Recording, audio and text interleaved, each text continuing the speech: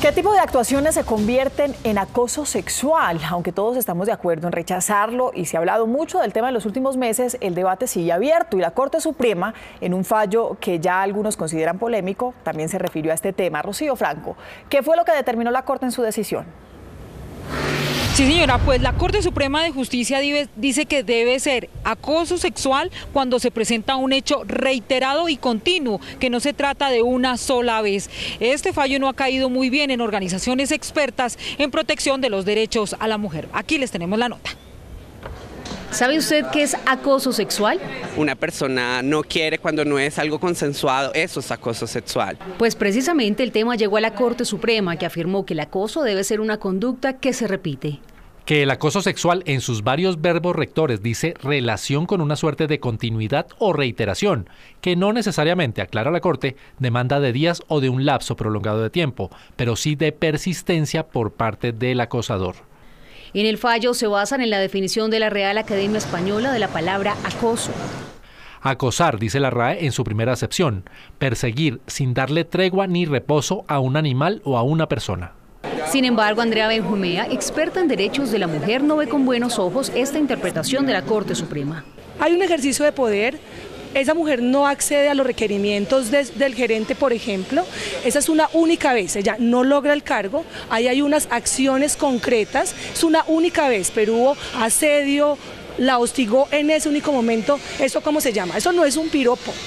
En la decisión que generó esta nueva controversia, la Corte Suprema tumbó la condena de 16 meses de prisión a un exdirector de hogares campesinos que realizó tocamientos a una menor, pues el alto tribunal consideró que en ese caso no se trató de un acoso sexual, pues la situación fue más allá de ese delito.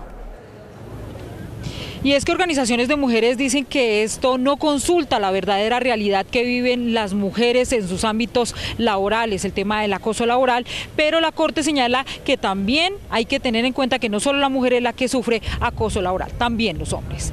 Desde el Palacio de Justicia, Rocío Franco, Noticias Caracol. Rocío, y en medio de esta polémica por el fallo de la Corte Suprema, salimos a las calles a preguntarle a la gente qué tanto saben sobre el acoso sexual.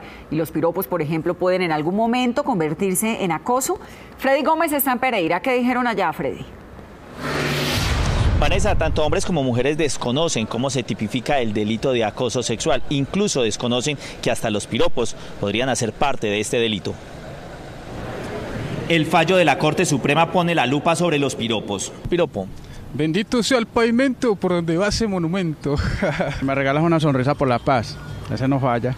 Estos piropos, al parecer inofensivos, pueden convertirse en acoso sexual. Cuando lo quieren tener sexo con uno sin querer. Cuando te gusta por decir alguna mujer y, y siempre está encima de ella y siempre quiere buscar algo con esa persona, ¿no? Y hasta que no logra. Según la Corte Suprema, el acoso sexual es un acto verbal o físico que implica acciones, tocamientos, señas o conductas de naturaleza sexual que no constituyan un delito más grave.